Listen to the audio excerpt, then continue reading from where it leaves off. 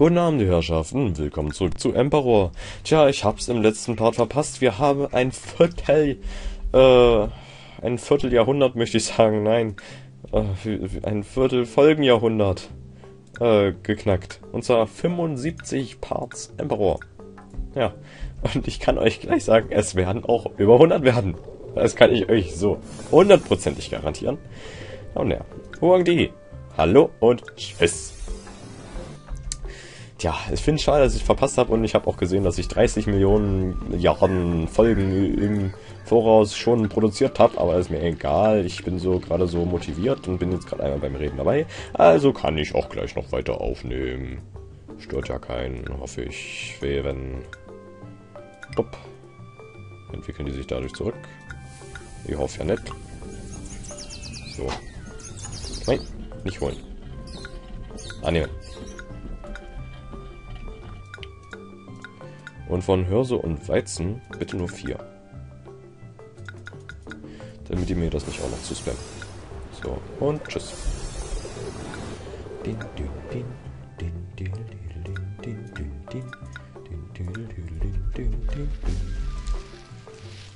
So, wir machen hier schon einiges an Einnahmen.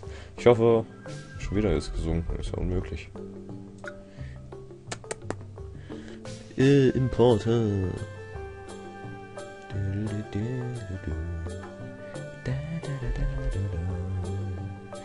Ich hole nicht genug aus dem Zeug raus. Das ist nicht schön. Ich glaube, ich muss noch ein bisschen mehr herholen. Erhöhen wir einfach mal die Preise noch ein bisschen. Einfach mal eiskalt. Wie wir sind.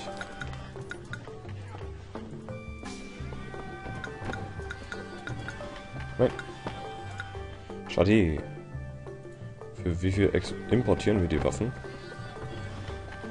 20 und 26 holen wir raus. Hm.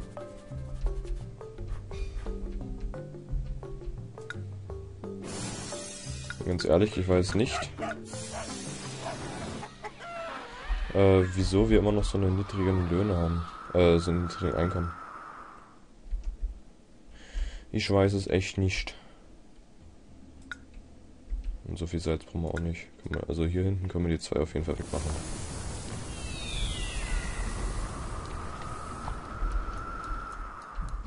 Ein bisschen Jade können wir definitiv noch importieren. Aber was habe ich da rot gesehen? Preise. Hm. Bisschen mehr Jade.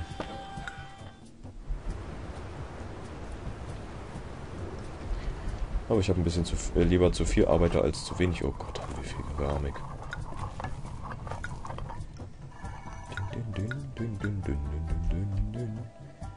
Wieso können wir nicht mehr exportieren?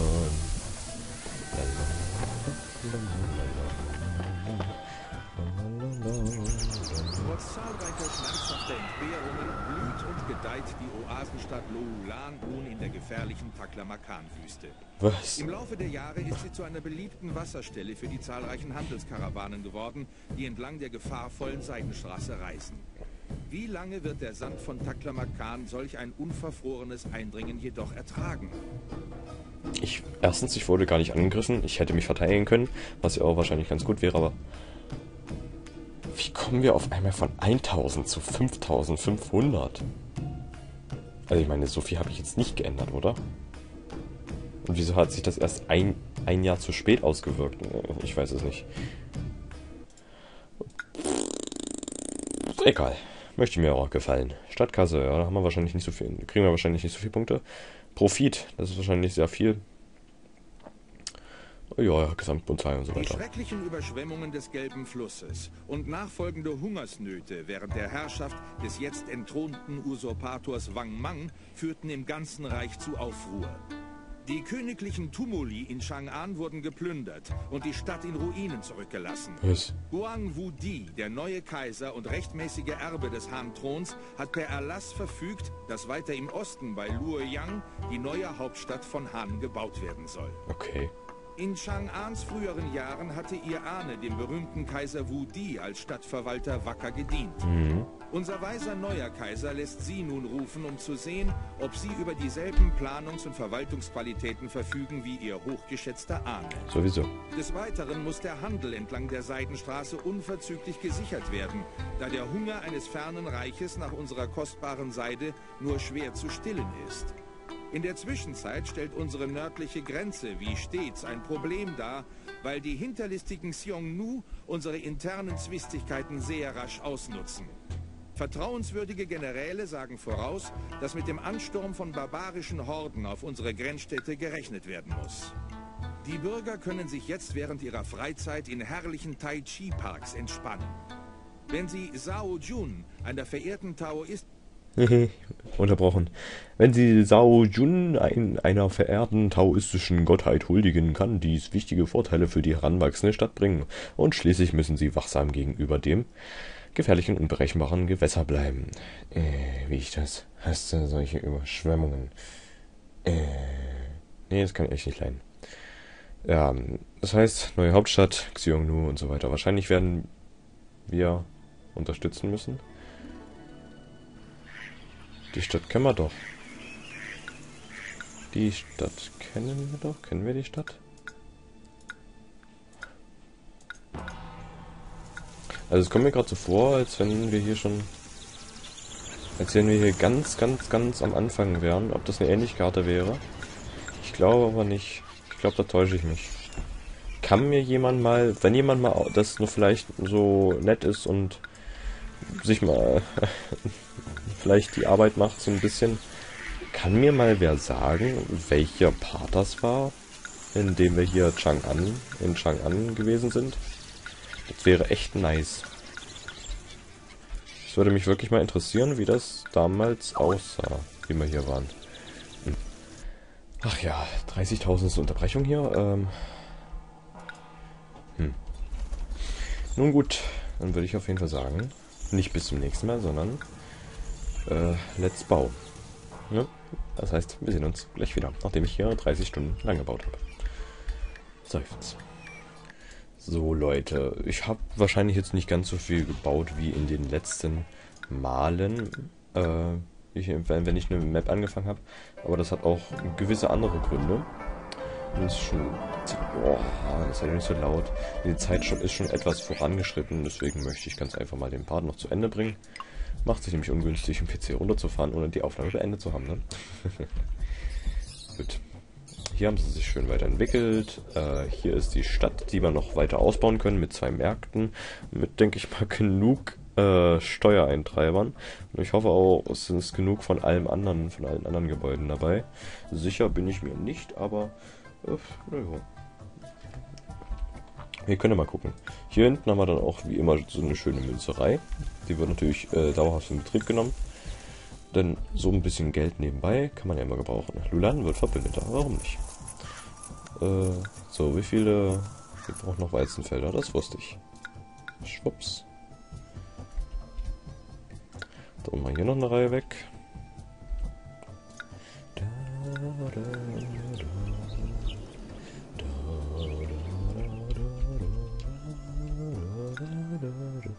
Jetzt haben wir ungefähr gleich.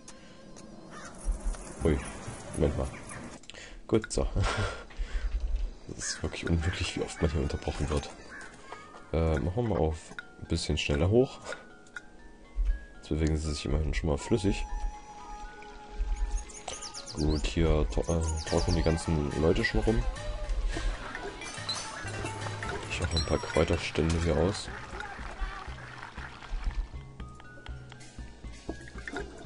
Einfach aus Prinzip. Wo brauchen wir denn so viel Arbeiter? Ja, da nicht, da nicht, da nicht. Naja, an sich nirgendwo. Es kostet eben wahnsinnig viel Arbeiter hier, die, die Leute hier zu unterhalten. Gut, das ist beides aus. Hab schon nachgeguckt. Das habe ich auch schon nachgeguckt. Das ist alles aus. Hier hat sich das auch weiterentwickelt. Ähm die Akupunkteure habe ich hoffentlich auch alle ausgestellt, genauso wie die Steuereintreiber. Den Taoistentempel.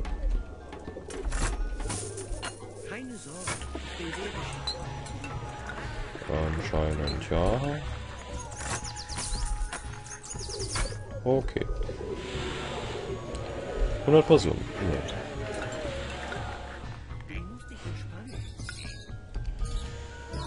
Supi. Dann äh, machen es mal ein bisschen schneller hier. Krass, wie die krass die Unterschiede sind dann zwischen 80, 90 und 100 Prozent. Ich weiß, das ist ja noch nicht ganz optimiert, aber ich lasse das erstmal auch so.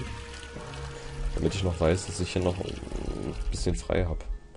Weil ich würde dann gerne, falls wir noch irgendwie ein bisschen mehr Bevölkerung oder sowas brauchen, jetzt einfach noch ein bisschen was hinklatschen. So, dann können wir auch ein paar Bäumchen machen. Ja, du darfst dich da bauen. Kirschbäume passen sowieso immer. Ja. Gut. Immer noch 88 Arbeiter nötig, aber haufenweise Wohnungen haben wir. Das passt schon. Dann können wir die jetzt schon mal anmachen. Unsere Kräuterkundigen. Die müssten wir nun mittlerweile genug haben.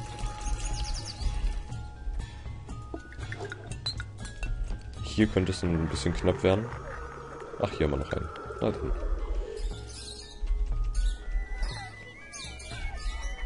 So. Schön. Dann könnt ihr trotzdem schon mal anfangen, ein bisschen zu bauen. Anzubauen, meine ich.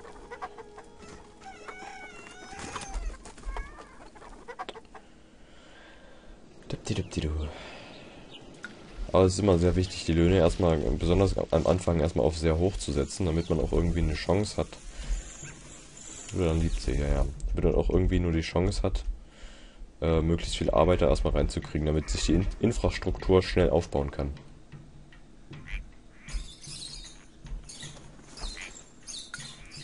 Ich wollte gerade sagen, sehe ich hier hinten irgendwas? Äh, ich hoffe, diese Viecher greifen mich nicht an.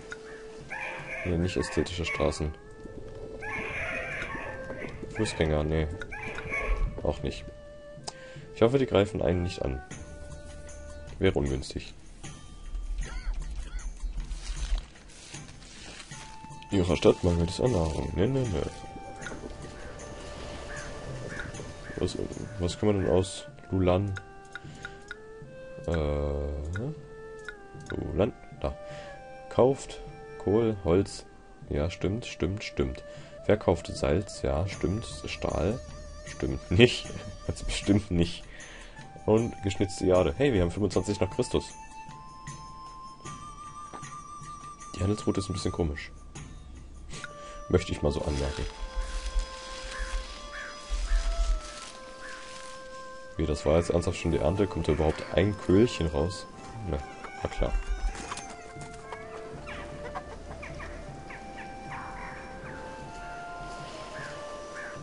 März. Mai. Tja. Das dauert ein bisschen. Ist ja die Hand einfach für illegal erklärt. Nein, natürlich nicht. Und jetzt kommen wieder ein paar Leute.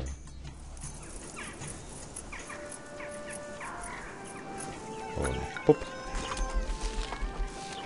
Hey, 500 Personen.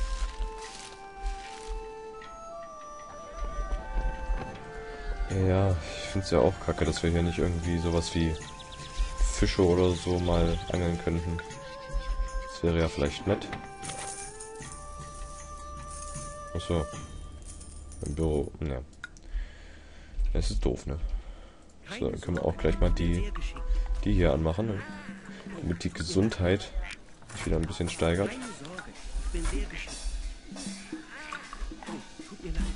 Arbeiter werden wir erstmal genug reinbekommen. Ich muss mich bloß kümmern, irgendwie äh, ein bisschen Nahrung anzuschaffen. Mach mal einfach mal eine Geldrunde.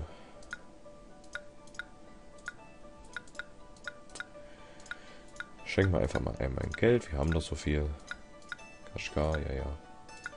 Die verkaufen auch nur Gewürze. Das kann man alles einzeln, kann man, kann man weder Salz noch ähm, Gewürze gebrauchen.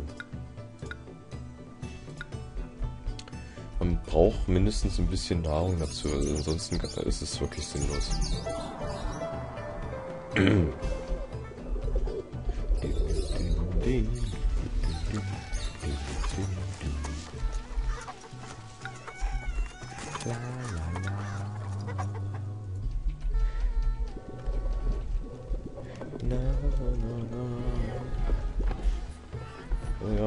ich die Töne einfach nicht treffe.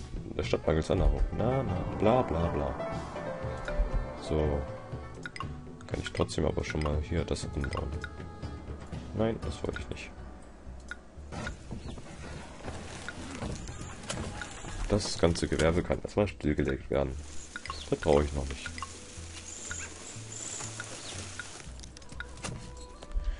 Und dann können wir hier... Genau. Kein Fest in diesem Jahr. Ah, schade.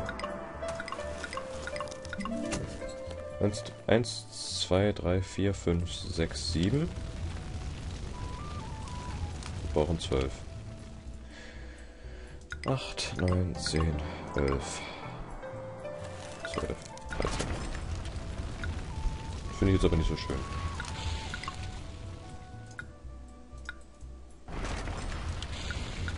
Nee, das finde ich echt nicht schön. Jo, jo, jo, jo, jo, jo. Oh, so viele Arbeiter nötig? Ach so. Tja, ein bisschen blöd, ne? Geht einfach eiskalt an den ganz an den brennenden Ruinen vorbei. Das Feuer greift da zum Glück nicht über.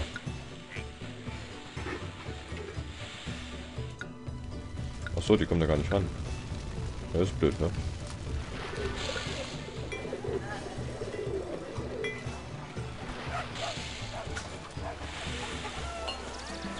So, dann löschen wir das auch noch. Jetzt kommt anscheinend so langsam Leben in die Stadt. Nee, nee, nee. La, la, la.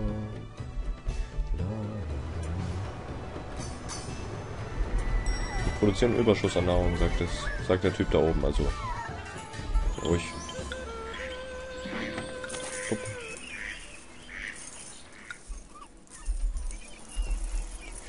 Wir haben hier drei Bauernhäuser an, also für äh, einfach reicht schon mal.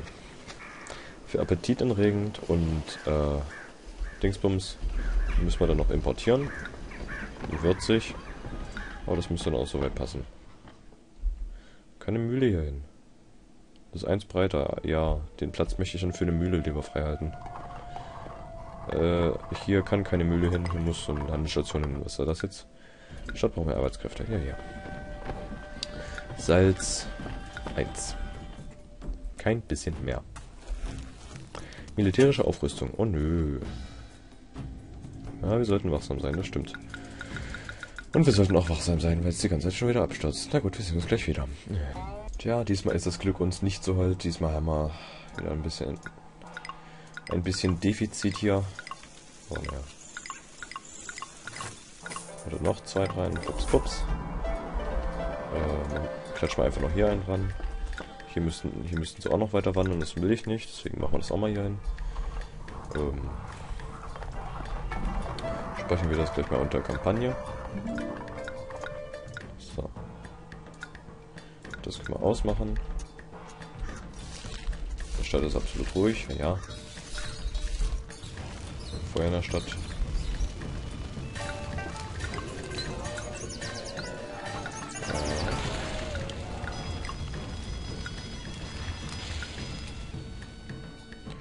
Bewegt euch bitte mal. Jo, jo, jo, jo, jo, jo, jo, jo. Oh, der letzte noch. Dann ist immerhin nur ein Haus abgebrannt. Schon mal wesentlich besser. So, hier mal alles an. Das können wir ausmachen.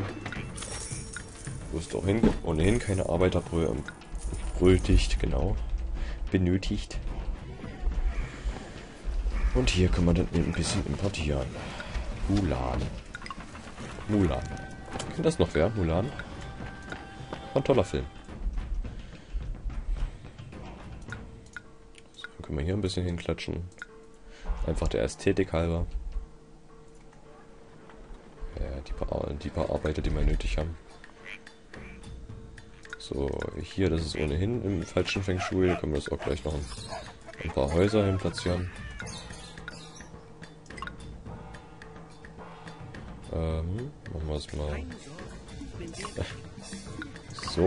Ja, definitiv fähig.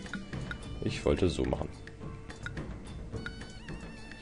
Hier Stadtmangels Annahrung, bla bla bla. Hier, dann haben wir eben noch einen Slot frei.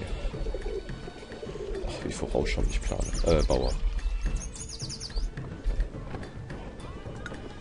Wie viel Geschwindigkeit haben wir jetzt? Oh, ein bisschen schneller. Und wieder ein bisschen langsamer.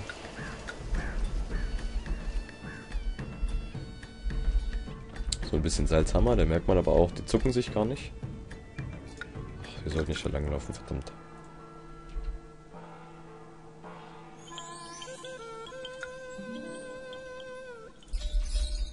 So, genauso wie hier.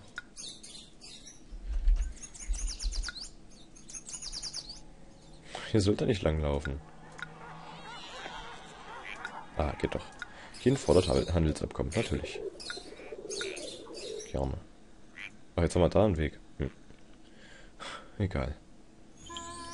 Dann können wir den Weg irgendwann wegmachen.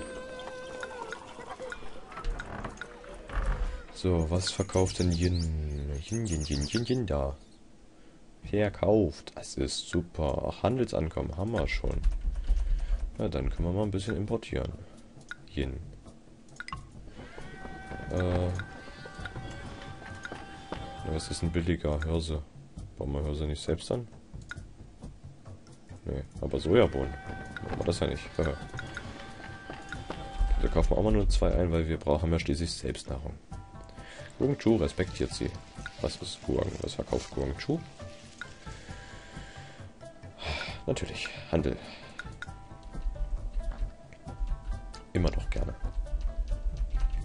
Gut, da die Zeit fortgeschritten ist, möchte ich auch gar nicht erst überziehen. Deswegen würde ich sagen, wir sehen uns im nächsten Part von Emperor. Bis dann, Leute, haut rein und tschüss.